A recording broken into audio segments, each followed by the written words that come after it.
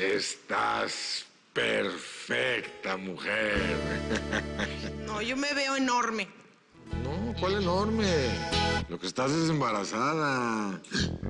Se movió. Saludó a su tío. Ya, ya, ya, hombre, ya, ya. No digas esas cosas, por favor. Es que es tan real. En verdad, vale. Me da emoción verte con esa cara tan maternal. La única cara que tengo es de pánico. No, hombre, mujer, si no es para tanto. Mira, lo único que tú tienes que hacer es esconderme estas joyitas por unos días, nada más. Ay, no, no, la verdad es que no. Está, está fuerte. Y si buscas a otra, ay, no hay nadie más que te pueda ayudar. No, tú eres perfecta para este trabajo, Ale. No te olvides que me debes un favor.